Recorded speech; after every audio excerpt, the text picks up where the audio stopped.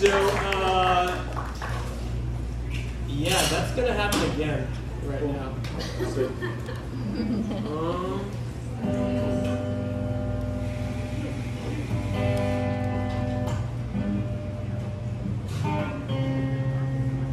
I'm literally trying to think of which instrument we'll do.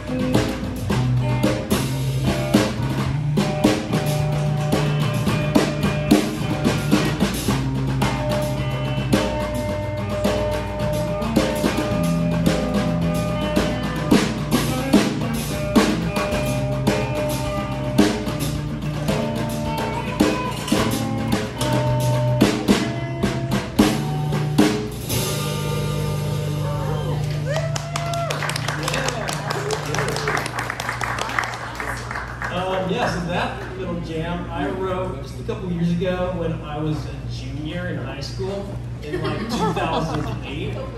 Yeah, uh, it was on MySpace. Y'all might have heard it. Um, yeah. So.